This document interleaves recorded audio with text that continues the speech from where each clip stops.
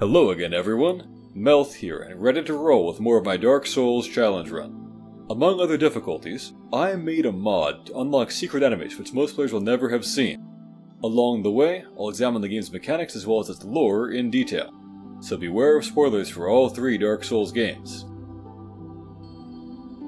This time, Gwydion is wearing gauntlets again, because I'm about to tackle a gauntlet of bosses and mini-bosses. There's the Black Knight, the Havel Warrior, the Taurus Demon, Hellkite, and worst of all, this one Red Phantom Gravelord guy with a spear in this narrow spot was really annoying to kill. Although come to think of it, I should rest at the bonfire one more time, because right before this I was doing some tests on cast times with heavy soul arrows. I put it to a vote whether to fight the Havel Warrior now or from Darkroot Garden. You could call the two sides the Havels and the Havel Nots, I guess, and the Havels won. When I say mini-boss, by the way, I mean tough enemies that don't respawn. Although as a weird side note, Gravelord Phantoms actually spawn back in if you just exit out of the game even without using a bonfire. Let me call your attention by the way to the fact that I only have 8 Estus here. If you haven't played much Dark Souls, that won't seem abnormal. But normally in Dark Souls, a bonfire restores you to a multiple of 5. Basic bonfires give you back 5, a kindled bonfire gives you back 10, and later on you can get bonfires that are even better that give you 15 or 20.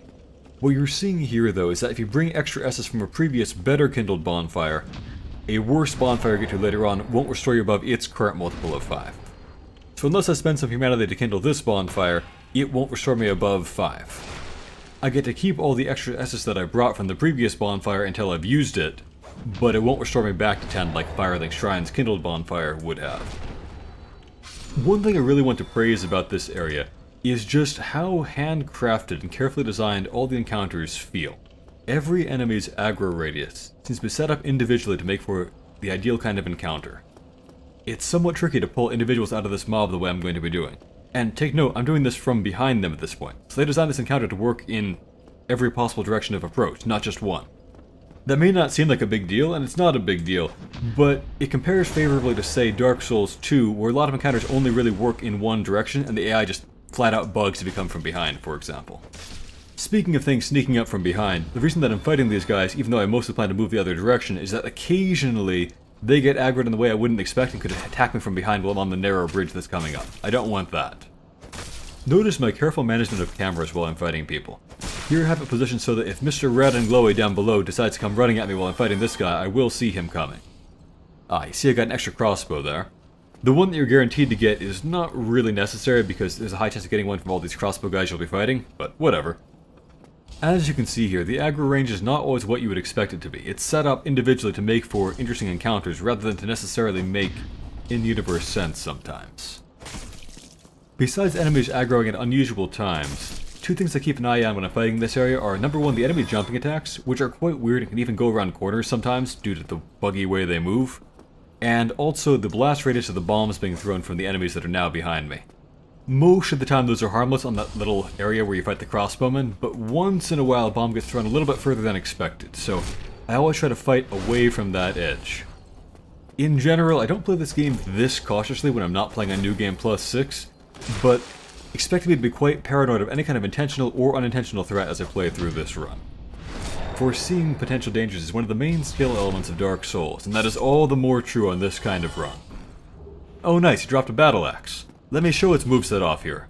I'll take a break from using the very efficient reinforced club. Axes are quite similar to hammers in many respects, though. Just like hammers, they have this slow whiff animation if you miss an attack. Leaves you vulnerable.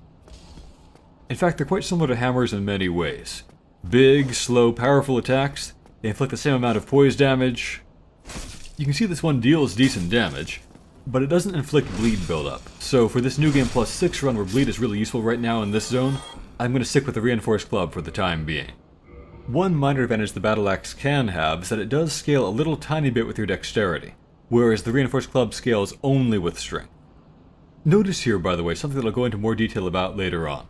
Although the param bonus for strength is listed as a C for both the Battle Axe and the Reinforced Club, it shows as a blue C for the Reinforced Club, meaning that it's actually a better C than the Battle Axe one. So better scaling, even though the letter grades seem to be the same. So here we have quite a memorable encounter. The three bomb throwers, the narrow approach to the bridge, and an ambush waiting on the other side. You can see at least two of the hollows from here, but there is a third waiting. So the smart approach is to use your newly received bow, and you can take these guys out quite easily on new game with headshots. which is what causes them to do a little stagger animation there. Does about 20% more damage. On New Game Plus 6, you can see that's fairly tedious, although quite effective. So I'll only do it this way once. There are other ways to mitigate the danger of running past them, leaving three bomb throwers behind you, and having three enemies to fight in a confined space. Which is doable, but not something I want to be doing on New Game Plus 6. Notice, by the way, that the crosshairs are a little bit off from where the arrow will actually be uh, hitting. I always need to relearn that spacing after having played in a couple of years, as is the case here. So I'm going to try to aggro that hollow. This is the smart way to approach this encounter without taking out the bomb throwers every single time. Just shoot one arrow into his head, and he'll come running over here and fight you on your terms. So this, I think, is the smart and efficient way to approach the encounter. Pull out people from that room one by one with an arrow, and then finish them off on your terms over here. But you could also run halfway out and then lure them back, or you could just run into the room and fight all three of them at once with backstabs or just having good damage, which is quite viable on New Game. Lots of different ways to approach this encounter. It's well designed that way. The only thing I would say against this sequence is that the range combat option is just not that exciting, because unlike in Skyrim, enemies don't really dodge around. So against stationary enemies like those bomb throwers, you can just keep pushing the same button repeatedly and auto-win. I should point out here, by the way, you can see down below that big fire, that is part of the lower Undead Burg zone where we'll be going next. The fire is quite a conspicuous landmark. So this is your second time playing through the game, you'll surely look down there and realize, oh, that's lower Undead Burg where I go later on. Interesting. Alright, there are still two guys in there, so I'm going to pull one of them out. And then notice, although he's the same type of hollow as the previous one, he takes a smaller amount of damage. That's because he's further away, and in this game, bows do decrease damage at long range. It doesn't apply to things like soul arrows or ranged miracles or things like that. Anyway, take him out conventionally, I can fight the next one just by running in. No need to worry any longer. In this next room, you'll see that door that I mentioned looked very strange in the previous video, with kind of a white, wobbly, I don't know, aura around it. You can see it's kind of a barred door overrun with ivy, and that goes down to the lower Undead Burg. We can't open it for now, which just bothers me a little bit, because you can see, of course, it's barred and be easy to reach through with the key. Oh nice, you dropped a Hollow Warrior helmet. I don't have any helmet at all to wear right now. Clerics don't start with one. Let's see if I have the spare equip load to put it on without slowing down or sacrificing something of greater defensive value. It might be useful later on, though. It's part of the earliest available set that gives decent poise. Now we're going under the bomb throws here, where they can't hit us, but occasionally they... Oh, that guy aggroed in an unusual way. This guy starts off inside of the house on the right, and normally he only aggroes if you get close to the house. Not sure what happened here. As we saw last time, you can definitely get some unusual situations with enemies in this game. Usually spotting this guy is another reward for observant players who see him through the window. Now some environmental storytelling. You can see this house is quite well furnished and pretty wealthy most likely. There are some disturbances, like minor items knocked over on the table, but most things are still in place. Another ambush in here, by which you can actually see more of Undead Burg over through those windows. This guy's a little bit harder to spot, but I feel like that's fair after giving you the more obvious one that you can see through the windows. Not too bad. Anyway, I can see more of this opulently furnished house. Well, maybe opulent's too strong a word, but this well-furnished house full of treasure chests and things like that. Again, not much disturbance in here for a city overrun with, I thought I heard footsteps. Hmm. Anyway, things are surprisingly tidy for a city overrun by insane zombies. I do think it's good game design here to give the players some special black fire bombs after having dealt with a bunch of firebomb throwing enemies. A good way to get players interested in this powerful new tool we've been handed. And here we come across a place where they could be very useful, a cluster of enemies all grouped up close together. Now this is already kind of tricky to deal with on just New Game, with three enemies close together. And on New Game Plus 6, it's going to be very dangerous. But there's something else waiting around the corner too, as I get up here. You'll see once again that they're carefully set up so the guy who's in the back will aggro first. But yeah, around that corner, a red phantom waiting for you. So If you go in and charge in, you get killed from behind. Again, most of the red phantoms were placed very, very carefully to make encounters interesting in new ways.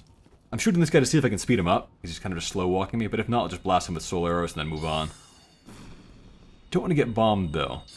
Soul arrows have a long animation. Yeah, there we go. That should be good. One down. Now, can I aggro one of them that isn't the red phantom one next? The last thing I want is to have to fight three of them at once with one being a red phantom on New Game Plus 6. On New Game, you can charge in and take out a couple of at once with a few well-placed swings, but that won't work here. And the Red Phantom was carefully placed to be a surprise and make that not work the way it used to. Regardless, there's a reason the game gives us so many range weapons in the first zone without there no requirements to use them or almost none. literally every character has multiple range options by this point, because they wanted you to use your head and break up these encounters in whatever way was tactically best for you. Throwing knives and fire bombs require nothing, soul arrows require only 10 intelligence, crossbows and bows require only 10 strength and 12 dexterity respectively. They wanted you to have ranged attacks, and this kind of thing is why. You're supposed to use your brain. Dark Souls is only as hard as you choose to make it. People say that it's a very hard game, and I will say, yeah, it's tougher than a lot of other games of its era. True. And if you choose to try to conquer every single challenge by brute force, yeah, you can have a tough time. But the game is constantly giving you new tools and toys, and you don't even need to spend your souls on them, they give them to you for free. Which I think is good design and helps encourage you to try new things, rather than risk your rather precious souls buying things without knowing how well they're going to be working. Creating a challenge for yourself by not using some of the effective tools that the game is giving you is fine and good, but it's not the same thing as the game actually being hard. Much as was said in Sunny, another well-designed RPG. You're outnumbered. Don't worry, though. You have the strongest weapon. This pipe? No, I'm talking about your brain. Think. You're often outnumbered, but you have the strongest weapon, and it's not your plus 5 Zweihander. Well, this last guy's not so tough. I think I've mentioned before that player jumping attacks cannot be parried, but enemy jumping attacks like that one can be. You might notice, by the way, over in the uh, corner that I passed, there's sort of a pile of wood, maybe to be used to make barricades. There's also a, a ladder over there that could go up, but hmm, I think I'm not going to actually fight this vagrant right now. I don't know if the Red Phantom Hollow that's lurking up there will come down while I'm trying to fight it, so I'll find out how it works first, and then I'll fight the vagrant next time I come through here. We've got a crossbow guy who's always up there waiting, and now there's also a Red Phantom one, as you can see. But yeah, there's that wood I was talking about. Looks like it was kind of just put here hastily, then left to go mossy. Maybe part of when they set up those barricades, probably as defense against hollows. Alright. Not bad. Good start. This is the first uh, Red Phantom Hollow Soldier that I've fought. They're considerably tougher than either the normal Hollow Soldiers or even the Red Phantom Hollow Warriors, but a few more hits should make him bleed.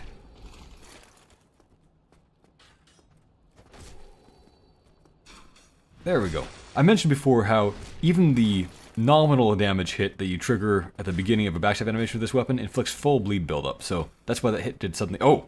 Nope, can't heal here. None of that. Okay.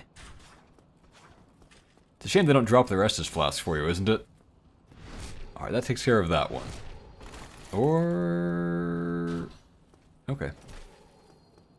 Thought his HP bar is empty. What happens with huge HP bars? By the way, Gravelord Phantom enemies have the same drop rates and everything as the non-Gravelord Phantom version of that enemy does. On to fight the crossbowman. Up in this narrow... You see I hit the wall there, so it costs me more stamina than it usually would. If you watch the stamina bar, you actually see that there are two hits to it instead of just one whenever I swing, because I'm hitting the wall too. We've got some pretty views of what's to come from here, as well as nice little skyboxes to look at. Back over there, you can see the enemies we'll be fighting next. Those are the bomb throwers, now seen from behind. And that's the dragon bridge, and over on the right side of it, uh, is Undead Parish, the representation of it anyway. Doesn't quite look like that when you get there. Up above is Anor Londo, the outer walls of it. It's pretty well designed to make you curious about what is within those walls, and when you'll get to see it, if you'll get to see it. And over in this direction, although it's not really rendered in enough detail to be totally accurate, you can see that part of the Valley of Drakes is below us, and across there that sort of zigzag you can see is part of Darkroot Basin. Again, this is a simplified model rather than the actual accurate map itself, but it definitely makes you curious about what's ahead, and you can see how the world fits together. Alright, time to climb up this ladder and tackle those bomb throwers. I took out one before that left just two here, both kind of facing away. They do aggro as you come in here, but it's probably best to fight them with range attacks instead so you don't end up fighting the one on the right throwing bombs they try to deal with this guy in melee. Or pull them out like this. He's walking slowly. I wonder if I can aggro him like that. Sometimes that makes enemies speed up. No? Okay, I'll just blast him away then, I guess. There we go. Yeah, I don't really know what always triggers them to speed up. Doesn't always work. That little spot you can see maybe uh, on my left there, you can drop down to there, although you just get stuck. It's a totally pointless area. And then that, of course, is the path we walked back in from before. Alright, let's take out that last bomb thrower. Still oblivious. I'll just knock him off the edge here. There we go, that should kill him. See the item down below there? You can jump down to there, although it might not really be intended. It's definitely a bad idea, though, because you then end up stuck in a very narrow space with a Black Knight point blank with you and no way out. You don't want to be in a tiny space with a Black Knight with no way to control the camera to see what moves he's doing and no way to get past him. None shall Well, coming up next, we have another one of these fairly well-to-do seeming medieval houses. The door to this one is openable by either the master key or the residence key if you bought it from the undead merchant. For some reason, every residence key door except one is openable by the master key. Again, we see you know, some signs of scuffling in there, but not too much. Walking out of this porch for some reason alerts that spear hollow, but not the other hollows. If you wanted to fight the spear hollow first, it's a good way to do that, I guess. That gold pine resin is a fairly potent consumable item. It buffs your weapon for one minute to plus 160 lightning element attack rating, which is not the same thing as plus 160 damage. In any case, that's fairly powerful, at least at this stage of the game. You can farm it infinitely later on, or you get more powerful weapon buffs than- oh, I've aggroed the Red Phantom one. Hmm. I don't want to fight these two at once. Can I pull this one to come faster by just shooting him with a spell or some kind of range attack? Come on. No, he's still going slowly. Two spear guys at once are a nuisance to deal with when you can't break down the guards with kicks or heavy weapon attacks. Alright, now the red one's in front, which is worse, actually. I'm gonna need to probably see if I can pull this one out front. I don't really understand what makes the AI sometimes, but not always, start charging in when you hit them with range. Okay, I broke his guard there. Sometimes that seems to reset the AI, but not this time. Maybe I make him do a melee attack? He did a shield bash there. The AI does a lot of shield bashes if you come up with your block ready, which I did there. They're kind of like the equivalent of your kicks, mostly good for breaking down guards, although enemy shield bashes do a lot of HP damage too if they hit you. Still nothing. So they're still just advancing together. This is not really good. If I take a swing at one of them, then both might spear me and I might not be able to parry both of them. Depending on their timing. When you're up against two enemies, there just can be no right timing sometimes. Hmm. Alright. I guess I'll try range attacks again. I'd love to fight them fair and square, mono a mono, but if I'm not going to come out and do that, I'll just chip one of them down like this for the time being. Hmm. The narrow bridge is an even worse. Well, actually, no, it could have advantages fighting them here. I mean, fighting a person with a spear on a narrow bridge is not usually great, but it does control where their spacing can be, and lets you keep an eye on both of them, so I don't need to worry about getting hit from behind. I was hopeful there after he did the attack he'd run forward. Sometimes I do that. Okay, can I provoke them into doing a parryable attack here? Or maybe kick him? No, kicking won't knock him back far enough. Again, if it was new game, it would. There's a shield bash. You can't parry shield bashes. Maybe could have gone for that one, but I didn't feel like my spacing was right. I don't want to screw this up and lose all this progress, so I'm being very cautious. Yeah, not trying on the both swinging at once, and it's hard to keep track of whose spear is moving where. There we go. Now, I need to watch out. Sometimes you'll push past a guy after you, you riposted him, and then I wouldn't want to have them on, on each side of me. Okay, is he gonna... Oh, he's gonna try to heal.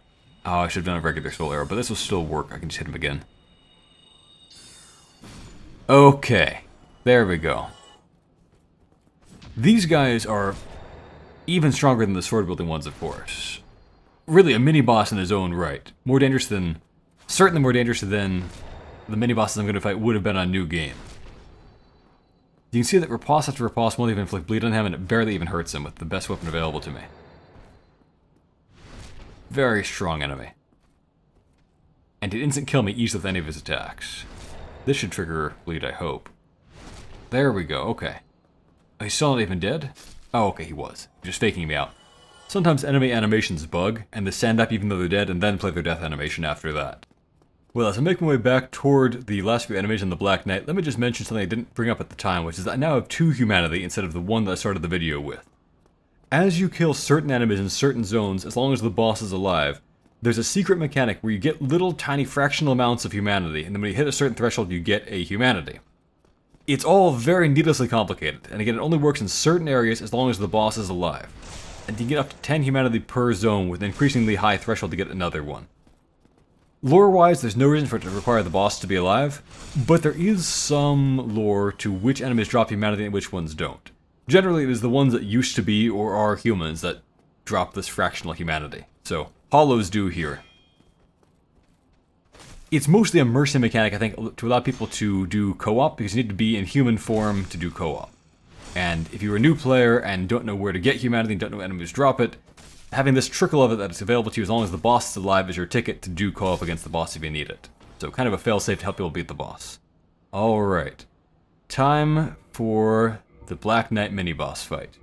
This is going to be tough. If he hits me with pretty much anything, he'll instant kill me, and it'll take a lot of parries and ripostes to kill him. He's pretty much impossible to stun with anything other than a backstab or parry.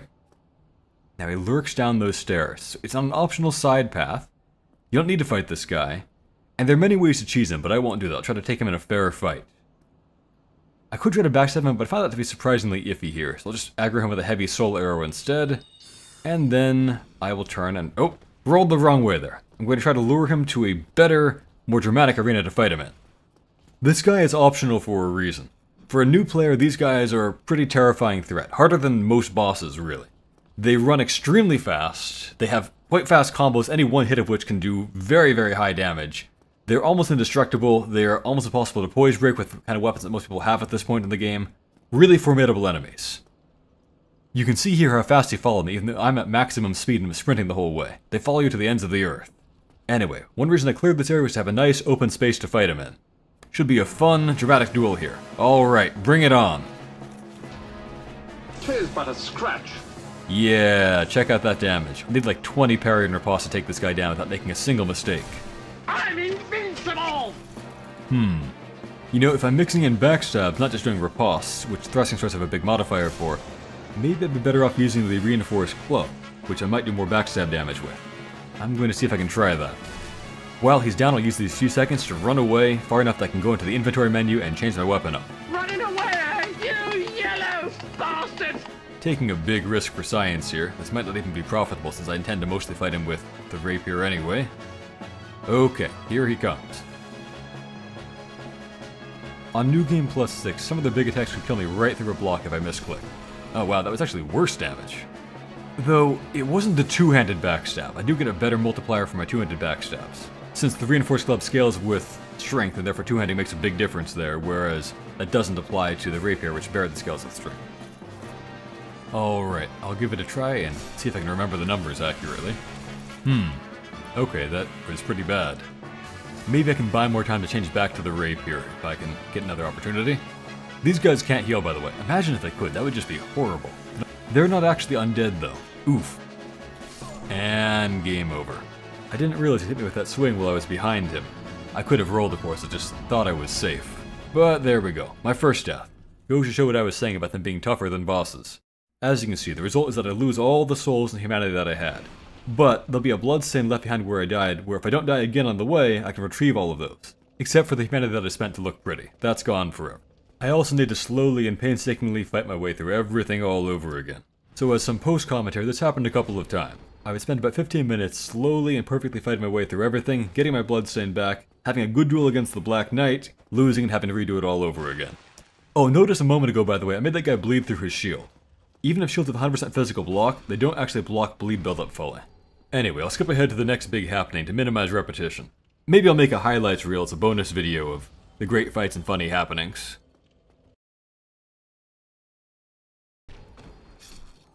You can see here that I'm starting to acquire a decent amount of humanity, mostly because of these vagrants. I've learned that the upstairs Gravelord guy won't really aggro very fast, so as long as these guys don't run upstairs to him, I can take him out like this. I do keep an ear out in case the Red Phantom does get aggroed somehow. But yeah, I'm getting 1 to 2 humanity per run because of this, basically.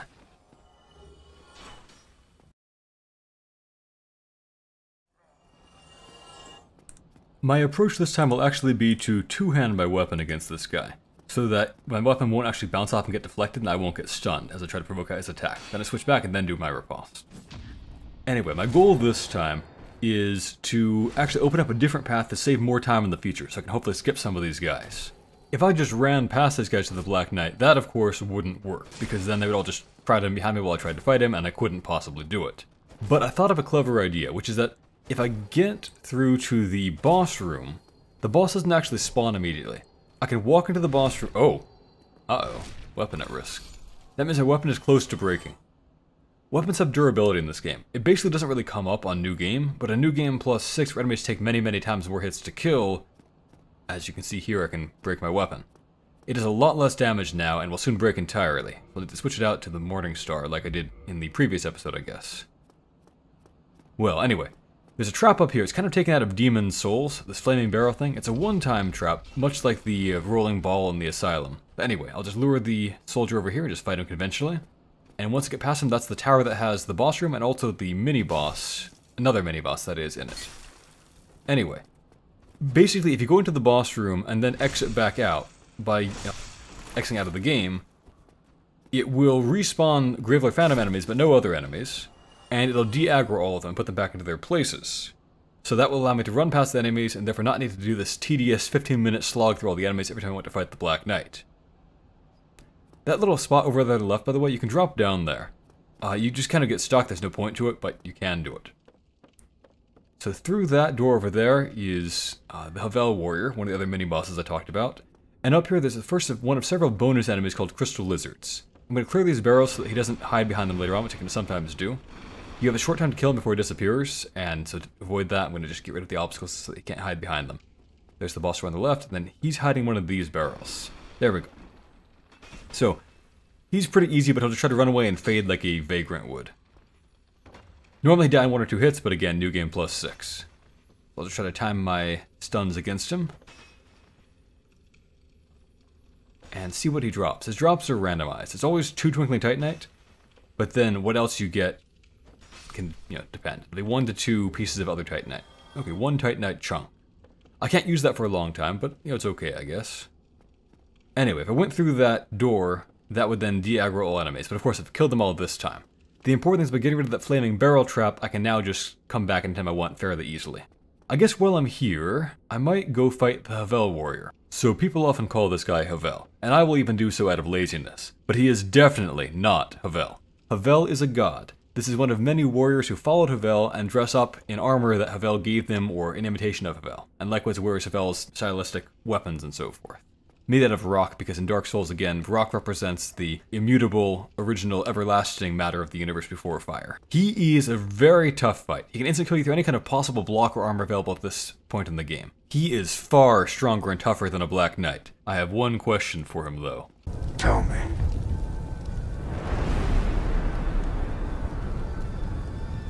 Do you bleed? While I'm figuring out the answer to that one, Enjoy this song about Havel the Rock that Simon and Garfunkel wrote during the Age of Ancients 60 years ago. A winter's day in a deep and dark December.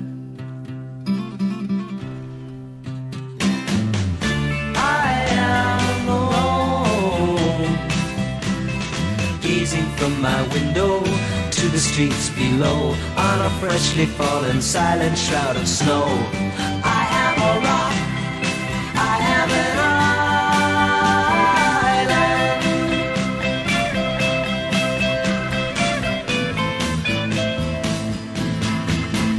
I built walls, a fortress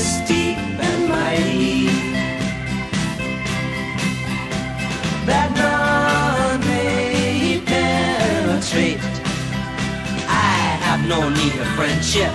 Friendship causes pain. It's laughter and it's loving I disdain.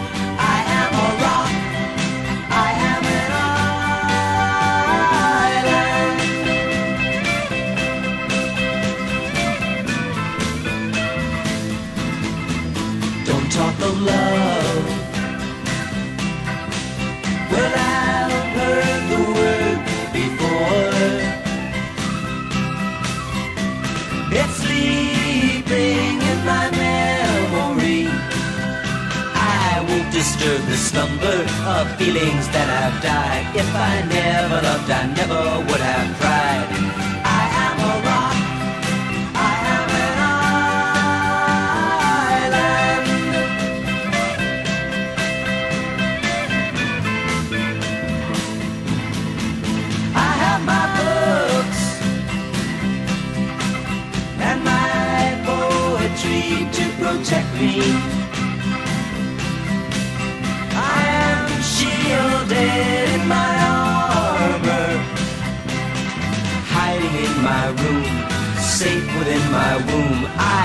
no one and no one touches me. I am a rock. I am an island. And a rock feels no pain. And an island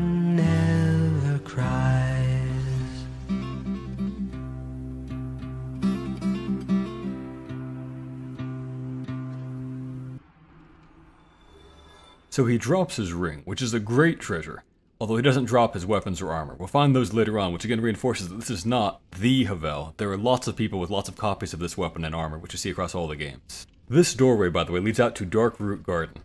There are several very powerful items and spells available out there immediately, but I won't get those because that would be sequence breaking. That's the normal side to fight Havel from, but if I waited until then, I'd be much stronger and he'd be much less challenging as a result. That's probably why most people voted for me to fight him now rather than later. This is, by the way, the only way to fight him in co-op. You can't co-op him from the Darkroot side. This is my first magic ring, increasing my carrying capacity by 50%, so I can now actually wear clothes while moving around at full speed. The effect doesn't really matter that much right now, but it will become quite strong later on when I have more valuable gear to choose between. Of course, by that time I'll also have other powerful rings to choose between. One thing I love about this game's ring system is you only get two rings, but lots of ring options are extremely powerful. I think this makes for much more strategically interesting choices than the Dark Souls 2 and 3 system where you get four rings, and therefore don't really need to give up one thing to have another as often. To talk a bit more about Havel, the lore describes him incorrectly as being a bishop. He is, in fact, a god. We know that he was a confident and battlefield comrade of Gwyn, but he hated Seath, who was another ally of Gwyn, the dragon who betrayed the others. Time to fight this Black Knight. Then you shall die. In any case, he hated magic, he hated Seath, so he made miracles and taught them to his followers to make them able to counter magic. You get some of those miracles, and they're quite strong later on. His armor set uh, is made from stone, and this weapon is made from a dragon tooth, which is probably also stone, because dragon bones seem to be made out of rock, and we should assume that dragon teeth are too, just from how they look and what we else we know about them. Here comes that Black Knight. Let's see if I can take another shot at him while he's running across this bridge. If I aim like that... Yeah, see a good manual aim there before he was actually in lock-on range. Okay, let's see what I can do to him over here. Sadly, we don't know that much more about Havel, really. He's never seen in any of the games, just his warriors are. I've had worse. I could talk a bit about Black Knight lore, perhaps. So, a lot of people think that the Black Knights are empty suits of armor just kind of haunted by ghosts.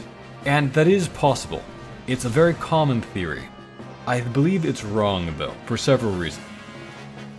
For one thing, Black Knights bleed and are vulnerable to poison.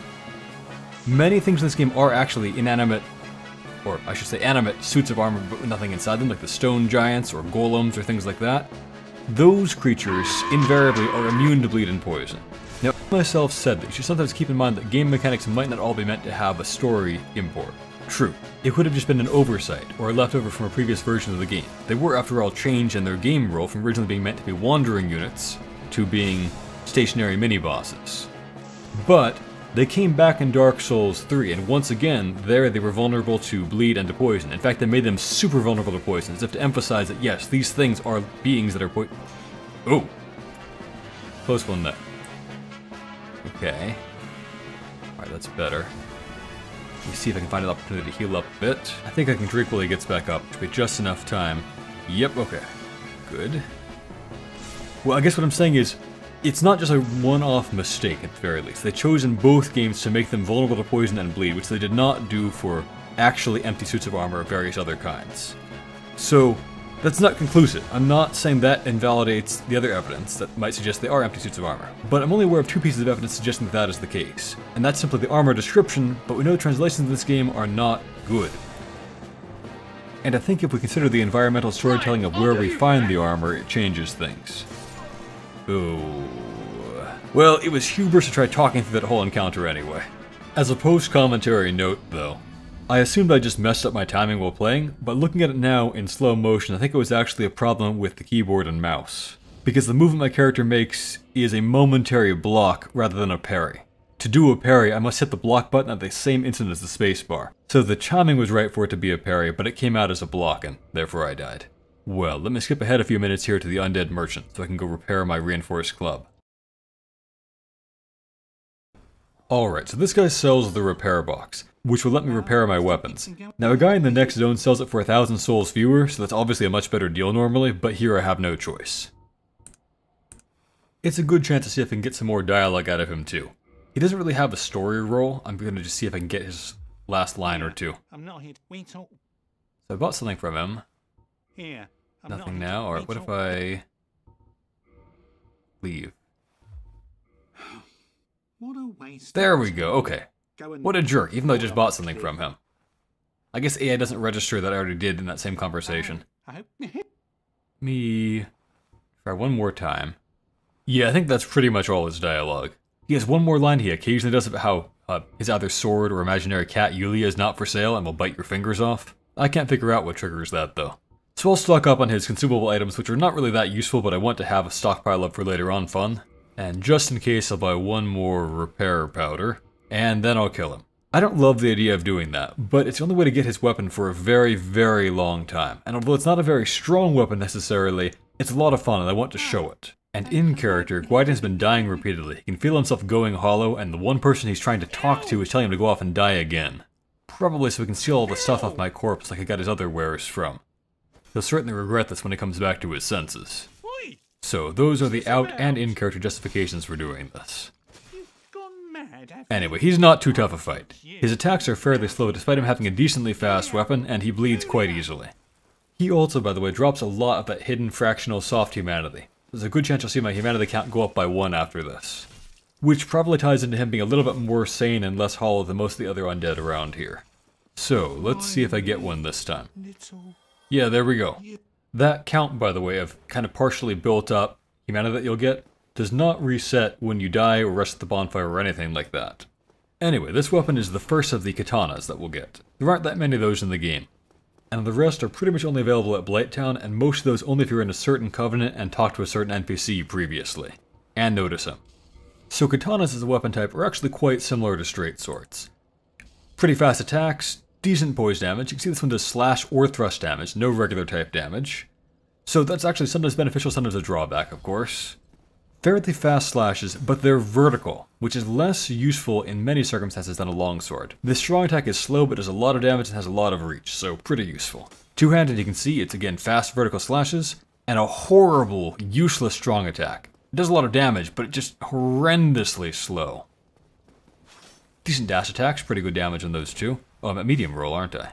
Get Uchigatana weighs a fair amount, surprisingly. Doesn't look like it's that heavy. I don't think I said this before, by the way. Only what you have equipped weighs you down. The 10,000 extra swords you have in your backpack or whatever, those don't count. Anyway, now I have the repair box, so at the bonfire I can repair my weapons. It costs a trivial amount of souls. Why it costs souls, I honestly have no idea. The mechanic of souls being the currency for everything is again something from Demon's Souls where it made a little bit more sense, I think. So a few more fights ensued. Some using the new route that I'm going to demonstrate here, where I use my AI knowledge and dodging ability to just run past all of the enemies, and get through the boss door, and then exit back out to reset all the enemies. That turned out not to save as much time as I thought it would. True, I can skip a lot of the fights. But, I still have to fight the Red Phantom Spear Hollow mini-boss, and that is just awful this way. Because you can't riposte people on slopes or stairs. Not reliably, anyway. And getting him to go anywhere where I could riposte him just took forever because he walks the speed of grass growing. Also, I think Havel's Tower makes a less cool arena for fighting the knight than that big courtyard I was clearing out before. I did have some fun duels here, but I ultimately went back to the old way. Speaking of going back to the old way, you might notice my HP is actually lower now than it was before. I'd racked up a fair amount of souls and levels, and I realized my HP bar was really growing. I decided to de-level myself and throw away all of those souls to go back to being as weak as I was when I first fought the Black Knight. I don't want any advantage to detract from the glory of my victory. Likewise, although I got a lot of Titanite drops, I did not upgrade any of my weapons. I would have won too easily with upgraded weapons. Several times as it was, I had him down to a sliver of HP before I made a single mistake and died. Speaking of deaths, I thought all of mine were fair and square, but rewatching in slow motion here, I noticed that some of his hitboxes are actually kind of bad. Likewise, while rewatching the footage, I noticed that there were a couple more times where I had thought I got the timing wrong, but it looks like the timing was right and the problem was it registered as an instantaneous block rather than a parry, because I'm using keyboard and mouse. There were several times he beat me fair and square though. And I also want to say that it surprised me that there were some bad hitboxes for the Black Knight, because Dark Souls' hitbox are usually really, really good. Here's an example. Anyway, I think there were enough exciting Black Knight fights to make for a good bonus video, so I've created one of those.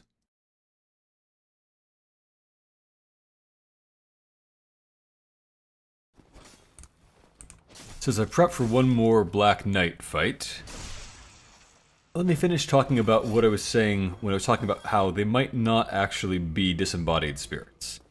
So the one piece of evidence that suggests they are disembodied spirits seems pretty conclusive. It's just that their armor set describes that Black Knights who were burned to cinders in the First Flame wandered Lordran as disembodied spirits. Again, sounds conclusive.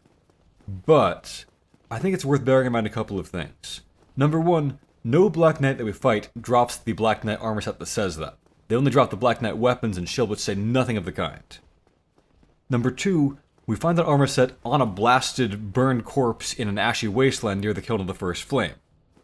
Number three, just before finding it, we've passed a bunch of actually disembodied spirit Black Knights wandering back and forth that truly have no body, no set of armor, nothing can fight, they're just scenery. So that suggests to me that what they're trying to say there is that the Black Knights who followed Gwyn were blasted to ash if they got there in time. But the ones we fight were not necessarily the ones who got there in time to be blasted to ash. And the disembodied spirits that are mentioned are the ones wandering around near the kiln of the first flame, that are actually disembodied spirits. The environmental storytelling seems to back that up as a possibility, at least. I had better focus on this, though. I would not want this to not be my last Black Knight fight. Even if I had, like, say, um, 95% chance of successfully parrying them, I think is probably about right, that would still give me about a 33% chance of actually beating them by parries, because you need so many of them to beat them. Just kind of probability-wise, it's not in my favor. Even if you had 99% chances of parrying, it would be not that favorable. So mixing some backstabs and other hits is a good way to do this fight well. Plus it's more exciting than just doing one thing repeatedly. Standing there parrying every single attack would be kind of repetitive. That running attack is a nasty hitbox. I really prefer to parry it rather than trying to dodge it. More than halfway there, but I've almost beaten these guys a couple of times. Just a flesh wound. Better not get cocky. No, when they wait. Oh.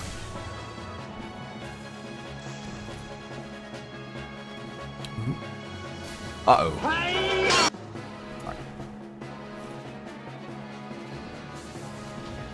That was a big risk. I'm gonna run away and heal.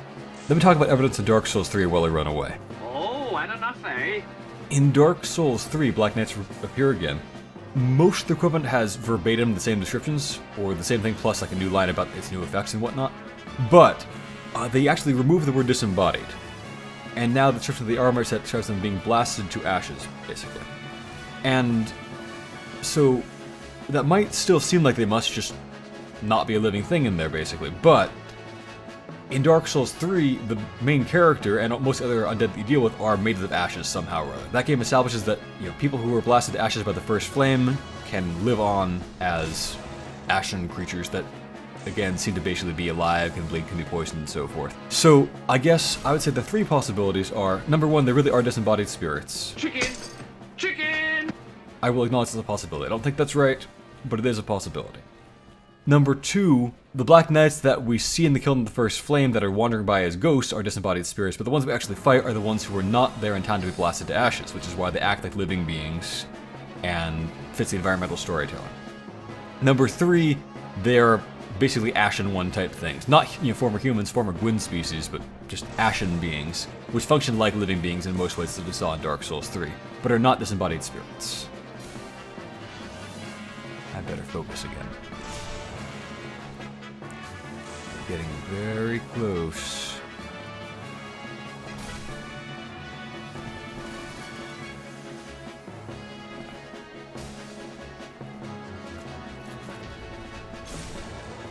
I think two more will do it.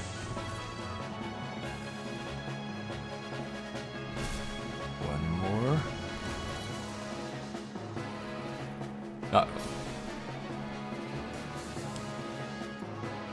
The Black Knight always triumphs! I rolled there rather than trust the hitbox. Game point. Perfection. Okay. That was a pretty epic fight. Yeah, he writhes as if he's a thing in pain rather than a, a ghost, doesn't he? Well, let me bow to this honorably beaten foe. And the camera at the same time. All right, we'll call it a draw. Alright. All these souls are now mine to level up with. Sadly, he didn't drop any of his cool stuff. It would be smart to level up my vitality and endurance so I can survive hits and wear more armor and so forth and block better attacks. But I'm going to keep leveling up my worthless, for now, faith stat, so I can wield cool miracles when I finally get them. I'm choosing having fun options over optimization. Alright, well, time to go claim the item the Black Knight was guarding and then make my way up to actually confront the boss. So it's another magic ring, like Havel's ring, but also unlike Havel's ring, it's just terrible. Guarded by a mini-boss, it's just absolute garbage. So it's called the Blue Tearstone Ring, as contrasted with the Red Tearstone Ring, and later games gave them a bit of lore I'll talk more about when I find the red one, I think. In any case, what it does is, if your HP is critically low, your defenses go up. But that won't save you because your HP is critically low, so almost everything will just kill you anyway. It almost never matters. Down here, by the way, there probably was some cut content behind this door, and maybe an earlier design of the stage. There's some stuff viewable in the map editor. This is a pointless drop, by the way. Stuff viewable in the map editor that suggests that there would have been rooms back here that lead up to maybe where those scaffoldings were that we could see from Firelink Shrine, but which are not actually present here in the finished version of Undead Burg. Interesting stuff, I think. I think this is a pretty section of the zone, all these blue walls with ivy growing over them. I like it when there are colors in Dark Souls. Too often I think the game is a little bit too brown and beige, and it's just nice to have a break from that. Dark Souls 2, I think one good thing that it did was have more colorful areas. Now, sometimes they went too far with that, I think, and made it look just cartoonish, but it was good to have some more areas with color variety. I really enjoyed the ones in Dark Souls that were like that too. Alright, so, time for the boss, but there is one big challenge that I'm even more afraid of than the boss, actually. So, as a new player, you'll see these beautiful views here, this cool bridge, start walking along it, and then you'll get shot from behind by those guys up there. There's two crossbowmen up there, but with my mod, there's also a red vagrant. It turns from a fight against two people, which is manageable, to fight against three... Whoa. Four people. There are two vagrants here. That's certainly unexpected. Okay, fight against four people, all of whom can instant kill me, and most of whom have mixed melee and range attacks. But I booted one of them off there. Can I get the other one out of here to bring it down to fight against just two people? Uh, the good thing is that the undead warrior moves faster, so maybe we can isolate him like that. But the downside is, of course, he heals. So just doing damage to him without killing him is no good. I need to boot him out of here or something like that. Can I get a backstab there? But now I'm surrounded by them, so it could be a, a situation where I can't get out safe, because you can't control yourself while you're backstabbing. You're invincible, but if you happen to, you know, come out of your invincibility while you're being hit from behind, you're dead. Okay. Oh, there's the instant death attack there. Projectiles easily blocked, but any one of them would instant kill on New Game Plus 6, and on just plain old New Game, uh, they're still absurdly lethal. Just disproportionately damaging. You see I barely scratched those guys. Alright, come on. I've isolated them again. As long as they don't range attack me in the back, this might work to boot them off. No, caught up too fast. But I can get a back... No, I can't do that either. Well, I'm alive and I'm chipping them down. I'm not taking risks here, just waiting until I have a sure thing. Okay. Can I get a backstab? I think I can now, yes. And they're on one side of me, so it's less likely to get behind me. He's low enough HP, he might try to heal now, or I might be able to kill him off. I was hoping for bleed there. Yeah, okay, got him. Okay, so now I'm down to just the two Vagrants, each of whom are still a lethal threat and will take a zillion hits to kill. You can see the Uchigatana really does not hurt them very much. To talk more about his moveset, by the way, uh, it does inflict bleed. I don't think I mentioned that before. And because it swings fast, it can cause bleed to build up pretty fast compared to the Morning Star or the Reinforced Club. But the bleed build per hit can be a little bit lower. And more importantly, for my playstyle, you don't get those double hits on backstabs and riposte that cause bleed build up so much faster. You see the damage is really not very big one-handed. If I two-handed, I would do a little tiny bit more, but it wouldn't be very substantial. Which is because the Uchigatana actually does not scale with strength at all. So it might surprise you then to hear that two-handed would make it do more damage, but basically, every move in the game has some kind of hidden modifier that affects its damage, just based on what move it is with what weapon. I've never ever found information about those that's accurate, but it is the case that two-handing a weapon that doesn't scale strength at all does do more damage. With some moves, but not others. For example, it won't do more damage with a parry or a backstab. Two-handing does not change the damage there if the weapon doesn't scale with strength. I think that kind of suggests those are not really intended by the designers to begin with.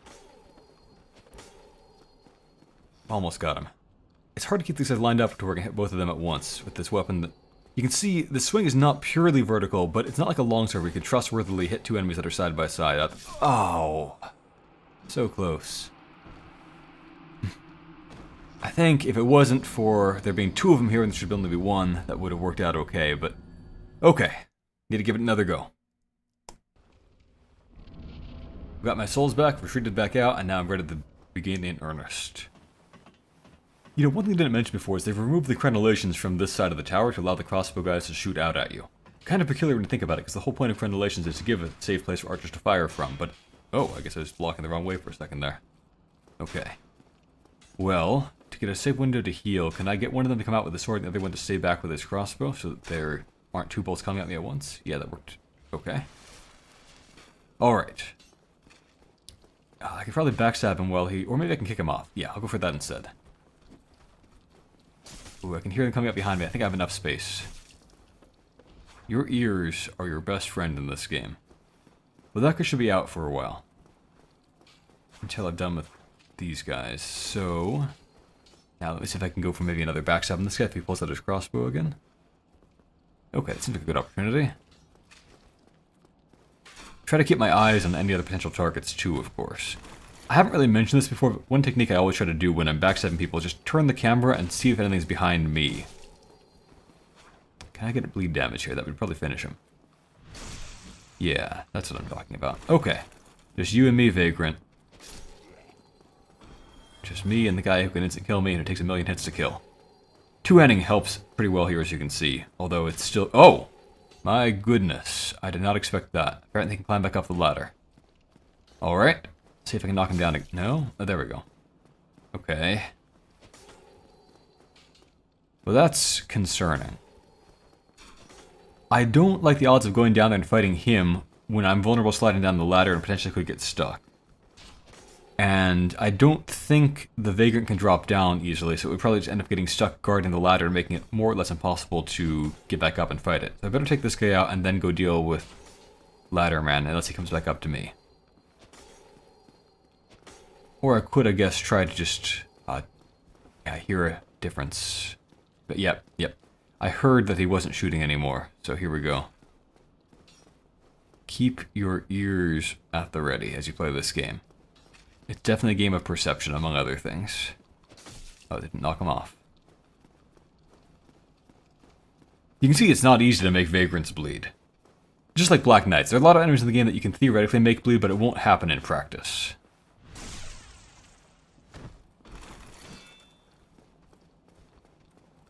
Okay. Did that finish him? Yes. Alright, just you and me, Vagrant. Won't be like the previous time. Then you had a, a buddy Vagrant for me to watch out for.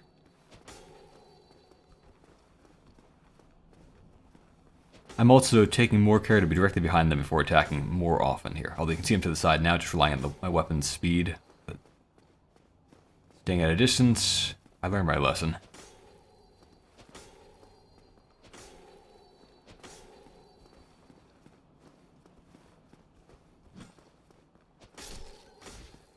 Alright.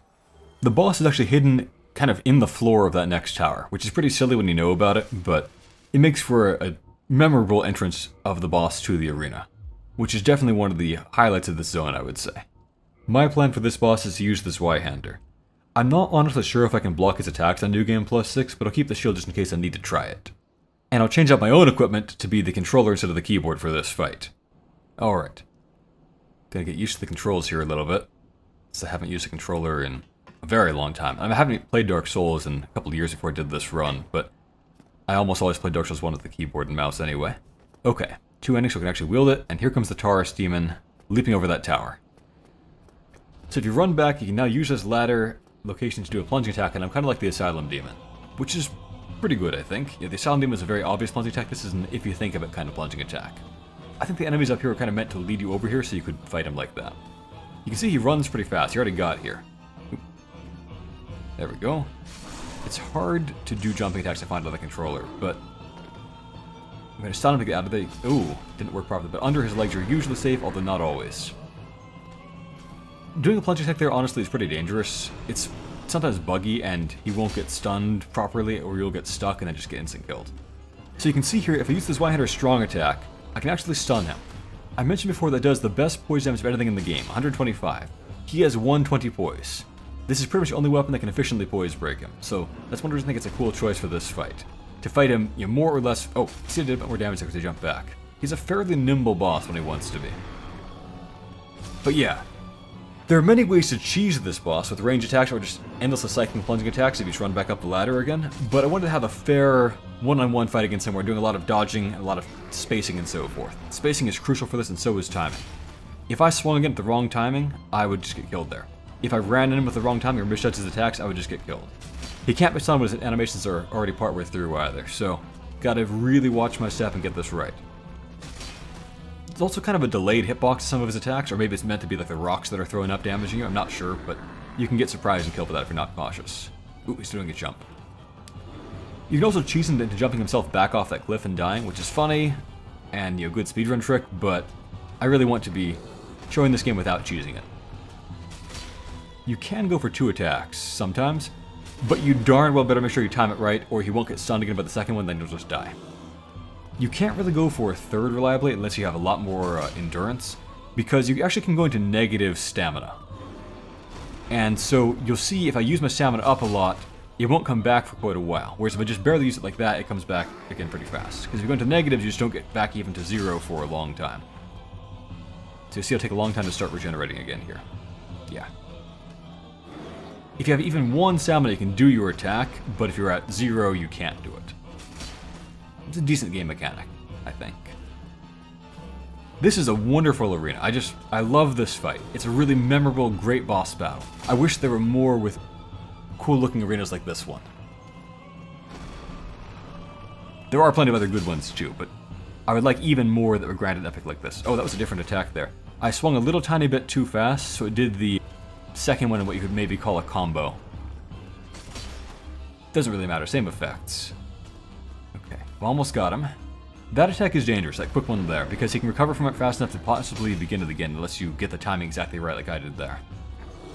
His slower attacks are a little bit easier, although there I had to clear back enough space that it was hard to close in again. I think I'll try to use a different weapon in every boss fight. I'm not going to commit to it 100%, because it might turn out that I don't plan out fights 10 boss fights ahead of time and forget what the best or most fun weapon would be for a later guy. But I plan just to keep things interesting to use different weapons in every boss fight if I can. Try to show off whatever I think the single most optimal weapon is out of whatever I have available. Here I do think it's this Zweihander. You could technically make this guy bleed, but again the threshold is so high I find it to be totally infeasible. And against bosses, bleed damage is much diminished. It's about 10% or less instead of about 30% uh, as is for most enemies. Okay. Can I get him? I'm gonna go for it. There we go. Alright, first real boss beaten. Pretty grand. Oh, he dropped his axe, didn't he? And also, all bosses pretty much drop a humanity and a homeward bone so you can get back to the bonfire if you want to. You know, the Zweihander is a huge weapon, but the Demon's Great Axe completely dwarfs it. In my opinion, probably this Zweihander should have been the biggest weapon. I just don't really like these cartoonishly big things. What really weirds me out about them, though, is... Of course, this is too huge for human to wield, yes. And yet, it's tiny compared to what it was when the Demon had it just 30 seconds ago. I don't really understand the design choice to have this middle situation here, where it's too big to make sense, but it's also too small to just be us wielding the boss's weapon with our super strength or something like that. They shrunk it, but they didn't shrink it enough to not be cartoonish and silly. It doesn't really bother me that much, but it's just, it's not to my taste. Some people love those huge weapons, I'm not one of those people. I guess I'm glad they're in the game because people love them, but it's it's just not for me. And I don't really get what they're going for with shrinking them a little bit, but not shrinking them much. So here we have kind of an empty hallway that just feels like a victory lap, although of course it's Dark Souls, so it's your first time going through, you probably feel pretty nervous about it. But it really is just empty, just a chance to recover and breathe. Hidden item there. So coming up next are a fan favorite NPC and a fairly widely hated gotcha moment trap on the left there. But the NPC is to the right, I'll go take care of him first. Another beautiful view here. Really very majestic, and a majestic looking character over there looking out at the sun. Notice the ocean of clouds down below us there. Some people, as I mentioned, have this notion that an area we'll get to later on called Ash Lake is some kind of connection between worlds. But there's no reason to think that, honestly. Everything suggests that it just is an area below Lordran. Up above here we see an ocean of clouds down below us. From Ash Lake, looking up above, we see an ocean of clouds. It all just fits together in a geographical, logical way for a fantasy world. Solaire here looks taller than this, by the way, but I'll show you later on. It's actually because his feet are floating. They have him, I think, facing away from us and not armed, so we don't think he's an enemy and attack ah, him. Hello. I'm glad he thinks I don't look hollow. Hollow. Far from it. Uh, maybe his eyes aren't so good. Well, Gwydion, of course, also worships the Lord of Sunlight, so he's listening intently now. Although I do like Solaire a lot, I don't love him the way some people do, and that's partly because to my mind, his motivation doesn't make that much sense in or out of character. I mean, to Gwydion, there's the sun. It's yours and mine already. This sun is your sun. This sun is my sun. From Anor Londo to the undead parish. From the depths of Blighttown to the Dragon's archives. This sun was made for you and me. I do understand why so many people like him, though. I mean, for one thing, he's an initially cheery character in a very grim-seeming world. And for another, of course, he introduces you to co-op and is a good NPC ah. ally against various bosses and so forth. And thirdly, of course, he has some goofy and memorable lines that we'll soon be seeing. This pleases me greatly. Well then, take So, this is the co-op item. And I've had a lot of fun with co-op in this We are game. amidst strange beings in a strange land. The flow of time itself is This is a really bad translation and has led to all kinds of erroneous theories over the years. Time is not convoluted here, it's more like it's pooling here, it's piling up. So that multiple times are going on at once or something like that. Now in universe, I've never heard a good explanation of why that would be. It doesn't really fit with the whole light is time thing, but here we go. and engage in jolly cooperation. The line we've all been waiting for. Anyway, there are a few minor time travel elements in the story, but the whole time stagnancy thing is not really explored much. It's mostly just an excuse for the multiplayer. you miss it, you must be blind. Again, a Dark Souls laugher. Oh, hello there. And here's his other famous meme spawning Gaze line. The sun. The sun is a wondrous body, like a magnificent father. If only I could be so grossly incandescent. Anyway, notice here, by the way, that his feet are levitating off the ground. All Dark Souls characters built with the character generator are the same height, and so to make some seem taller or shorter than you, they mostly just have them levitate. Just a minor funny detail. Well, Gwydion shares Solaire's reverence for the sun, Gwyn, so he'll join in with a prayer here before moving on. Now for the gotcha moment trap, or is it? In what seems like another nod to Demon's Souls, as you go across this next bridge, you get nuked by a dragon. But the thing is, there were already two warning shots about that. We saw the dragon, and the undead merchant warned us about it too. And you can see not only scorch marks, but charred corpses out on the bridge. So you should be able to recognize that the dragon will attack here. But what are you supposed to do about it? You can't open that door, backtracking is no good, this is the only way forward. If you listen to the audio cue of hearing the dragon roar, it's already too late to run back. If you play cautiously and go in with your shield up, that's actually the worst thing you can do. If you try to roll, that's worse than nothing. If you try to sprint, that's worse than nothing. So I disagree with both the defenders and most of the critics of this dragon attack. It's a fine idea, but the implementation is really bad. It punishes intelligent play and rewards stupidity. If you just walk in, you'll probably be fine. If you take defensive measures, but don't know exactly how it works, you'll probably die. And possibly lose all your precious souls from that boss fight, which are really hard to come by in New Game. Also, the dragon is now attacked, so what do you do? Again, this is the only way forward. You can see the dragon watching you there. It doesn't seem safe to approach. He just showed he can blast the whole bridge. But you're just supposed to casually walk out there. He won't blast you this time for some reason. Most of this game is really well designed. This just strikes me as a rare case of a moment of terrible design. but then a moment later we see just how great the stage design is. Kicking down that ladder, we're back at the bonfire from earlier. That kind of moment in the game definitely opens a lot of players' eyes to how well put together the world is. I'm not surprised when I hear people call this one of the highlights of the entire game. Well, let me finish leveling up my until now useless points in faith. I'm about to get fun new miracles, so relatedly I'll also put some points into attunement to get another spell slot. Next time is going to be great. There were more mini-boss fights, some really good design choices to talk about, and another very fun, well put together stage. Oh, I'm level 42 now. The ultimate answer to the ultimate question. The question of life, the universe, and everything. Well, thank you for watching everyone, I hope you enjoyed that. And a special thank you to my Patreon supporters, ElusoryThunder, Master Knight DH, Nasrullah Khan, Gregory, William Wakefield, Kenny Bogz, and Danny Hall. Until next time, don't you dare go hollow.